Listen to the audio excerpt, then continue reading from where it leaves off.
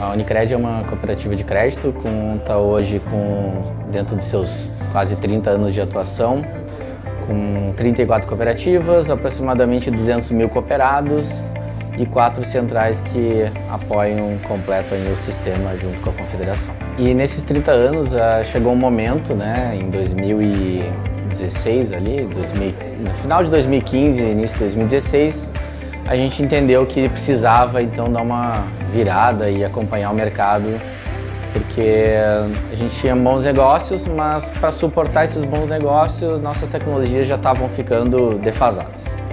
Então o que a gente fez é o seguinte, vamos procurar um parceiro, uma empresa que possa nos apoiar, tenha um know-how nessa transformação aí e preparação para esse novo modelo de atuação. E aí que a gente procurou a Elegra, né, num contexto de vamos construir isso, vamos entender as nossas necessidades, ver o que, que a gente tem de bom, o que, que a gente pode melhorar, o que, que a gente migra ou não para o novo uh, modelo de arquitetura, de TI, enfim. E aí eles fizeram todo um trabalho de descobrimento desse processo, onde a gente trouxe as centrais, as, algumas cooperativas né, para discutir. A gente desenhou isso em conjunto, é um sistema, então a gente não constrói nada sozinho, só com o olhar da confederação ou algo nesse sentido. E a Elegra nos apoiou, fazendo algumas sessões de design thinking, toda essa questão. E depois entrou uma parte mais técnica, onde a gente já sabia onde a gente gostaria de chegar, onde a gente naquele momento estava, né? E entrou algumas questões mais tecnológicas. Bom, temos que olhar bem forte para a tecnologia para atender esse negócio.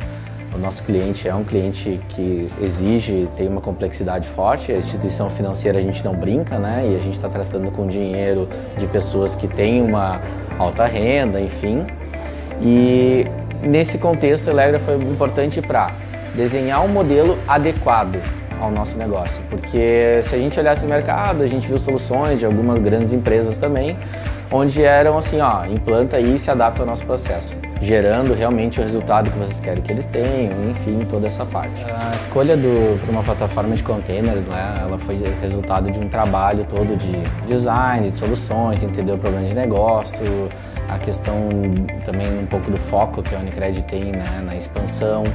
Então a gente teve que olhar um outro viés, não só eh, a questão de negócios sozinho, mas sim olhando qual tecnologia poderia nos ajudar a questão da expansão junto com nossos sistemas. Né? Então, eu tenho que redesenvolver um sistema se eu, se eu expandir, eu tenho que aumentar a minha infraestrutura se eu colocar mais cooperados. Então, a plataforma de containers ela, ela nos ajudou nesse sentido, né? porque ela nos ofereceu mais resiliência, ela tem uma questão hoje de flexibilidade, ou seja, se eu exigir um pouco mais de containers, ela vai me responder mais. Né? e eu não preciso ter uma super infraestrutura para esperando isso, né? Então eu consigo também trabalhar com um mínimo ali aceitável, eh, esperando toda uma questão de aumento, enfim, de uso dos nossos sistemas e não redesenvolvendo, não entregando aí toda um, uma readequação sistema. E a parte cultural também, né? Acho que pouco que a Elegra nos apoiou foi a questão de DevOps, onde a gente entendeu um pouco mais sobre esse papel, a gente hoje atua muito mais em conjunto e é um dos grandes potenciais aí que a gente está vendo também, que não adianta ser só uma plataforma e também essa parte aí cultural ela conta bastante junto com os containers. Então é um bem bolado, é um jogo dos dois aí, né?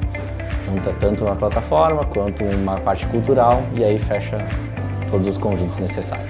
Bom, o principal resultado hoje para o negócio, eu entendo que é a maior celeridade na entrega de alguns sistemas, é a disponibilidade desses sistemas e muitas vezes a gente tem uma, entre aspas, indisponibilidade e a plataforma toma conta disso. Ela não deixa isso transparecer para a ponta criando sejam novos nodos, sejam novas instâncias dessas aplicações, ela não deixa isso transparecer para o nosso cooperado.